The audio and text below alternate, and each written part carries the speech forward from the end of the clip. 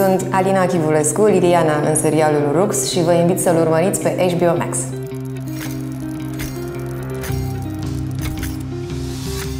Liliana's backstory is that she was an Olympic medalist, and you can see that she's got a really steely side. You don't get to be an Olympic silver medalist without knowing how to work hard and having discipline. Aceste fete muncesc peste 10 ore pe zi pentru a ajunge la această performanță.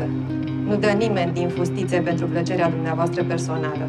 She has enjoyed a comfortable life with Moscow and she's slightly lost her purpose. Eugen s-a trezit foarte, foarte bine dispus azi dimineață și mi-a zis Lili, știi tu mașina aia pe care ți-o doreai de multă vreme?